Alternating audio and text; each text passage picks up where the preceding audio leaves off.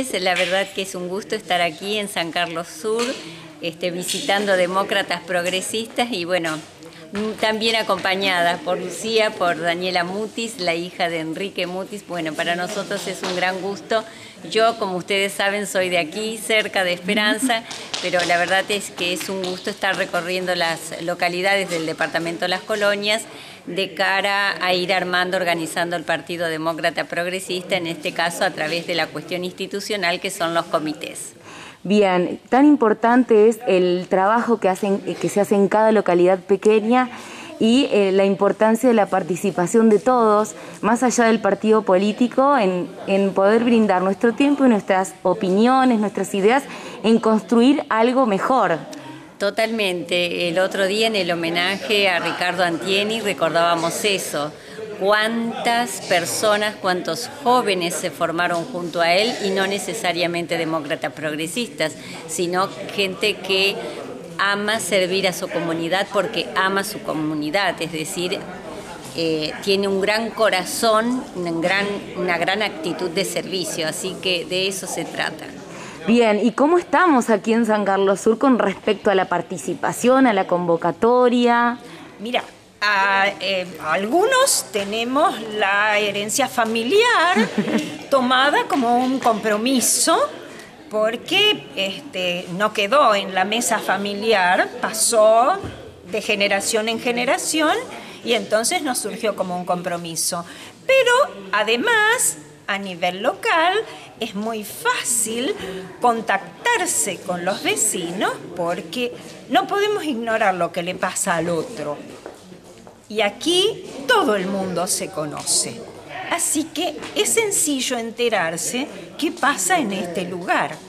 Em, los espacios políticos deberían servir para eso, ¿no es cierto? Para atender lo que pasa en la comunidad.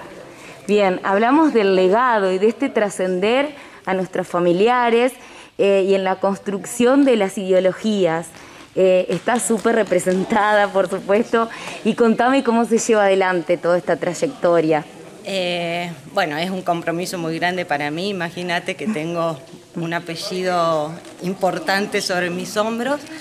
Y, bueno, siempre yo estuve ligada al Partido Demócrata Progresista, estuve separada un tiempo, separada en cuanto a no, no, no estar participando, pero bueno, ahora eh, nuevamente volví a juntarme con todos los correligionarios para empezar de nuevo a, levantar el Partido Demócrata.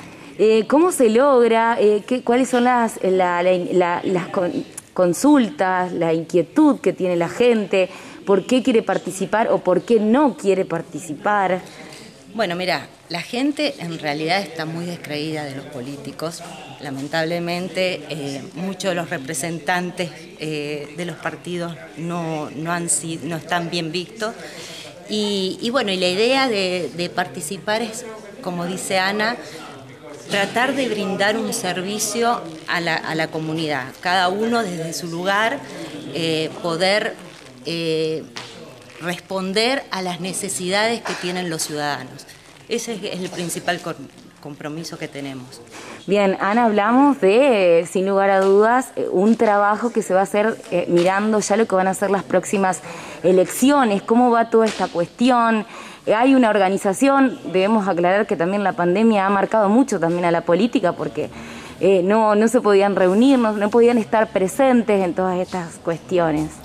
Sí, eso es algo que verdaderamente ha sucedido y la política tiene una encarnadura que es la presencia. No es lo mismo hacer un Zoom que esta, que es una reunión cálida, no solo entre correligionarios, también con gente amiga, con gente que comparte valores.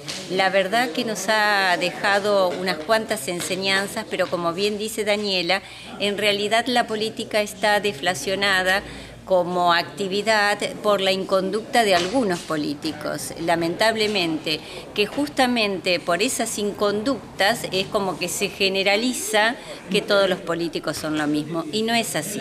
Lo cierto es que la herramienta para cambiar la realidad, para mejorar la realidad, porque de hecho nosotros ya tenemos una cierta edad, yo especialmente, digamos, justamente es tratar de dejar un mundo mejor para los que vienen también teniendo presente esa cuestión ¿no? de los dos ausentes. Por un lado los que no están pero lo han dado todo, como el papá de Daniela, como Enrique Mutis, pero también por los que van a llegar, a los que les debemos dejar un mundo mejor. De hecho, de hecho esa es la vocación.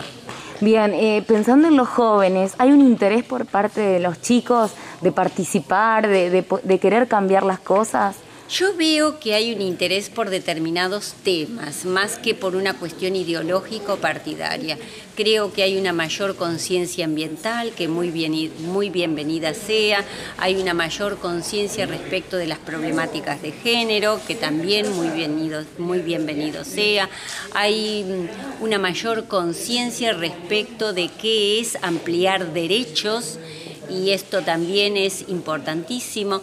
Creo que a los jóvenes los movilizan más las problemáticas que de pronto una declaración de principios de un partido. Pero de hecho, en el caso de la democracia progresista, la verdad que el fundador Lisandro de la Torre fue absolutamente visionario porque allá a principios de siglo ya hablaba de autonomía municipal, la carta, la constitución provincial del 21 demócrata progresista preveía el voto para las mujeres, cosa que se consiguió décadas después.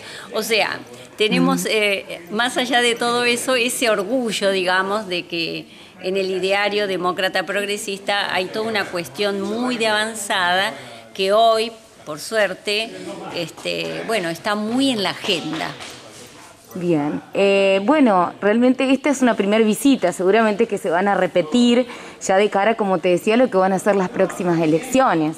Sí, sí, así es, se va a repetir, algunas veces son cuestiones más este, emotivas, como hace unos días el el homenaje a Ricardo Antieni, pero en otros momentos son también emotivas, pero en otro sentido como esta. Sí, esta, este es el principio de una serie de, de reuniones porque obviamente estamos a disposición de nuestros correligionarios, de nuestros conciudadanos y esperamos que en el Departamento de Las Colonias el Partido Demócrata Progresista crezca en beneficio de los vecinos.